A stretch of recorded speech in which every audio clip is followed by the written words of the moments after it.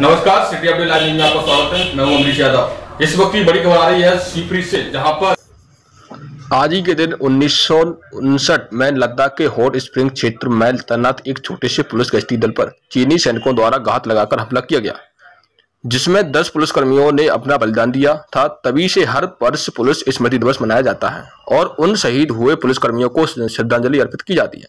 शिवपुरी में भी police parade ground पर ये आयोजन संपन्न हुआ, जिसमें पुलिस, जनप्रतिनिधियों और सर्वधर्म गुरुओं सहित कलेक्टर जिला जज सहित कई कई गणमान्य लोगों ने पुष्प चढ़ाकर श्रद्धांजलि अर्पित की। इस कार्यक्रम में इस वर्ष दिव्यांगत पुलिसकर्मियों की पत्नियों को भी सम्मानित किया गया। परेड का भी आयोजन किया गया, जिसमें सिर और हथियार झुकाकर शहीदों को याद कर श्रद्धांजलि दी गई। इस मौके पर एक प्रदर्शनी भी लगाई, जिसे सभी अतिथियों को दिखाया गया। देखिए पूरी रिपोर्ट।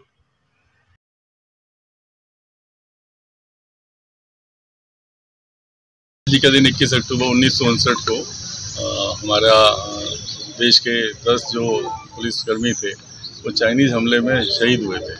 उनकी याद में ये पुलिस स्मृति दिवस मनाया जाता है और एक शहीद परेड का आयोजन किया जाता है। ये पूरे देश भर में जितने पुलिस यूनिट हैं सब में ये कार्यक्रम किया जाता है।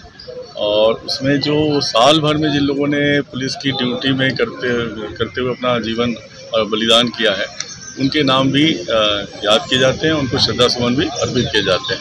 आज ये कार्यक्रम हमारे यहाँ भी रखा गया था, शिवपुरी ज़िले में भी, और इसमें हमारे डीजे और डीएम साहब और हमारे जनप्रतिनिधि और पुलिस के अधिकारी और बाकी लोग ऐसी ही ताज़ा तरीके खबरों को देखने हमारे चैनल को लाइक करें, शेयर करें और सब्सक्राइब करें, जिससे आने वाली हर खबर से आप अपडेट रहें।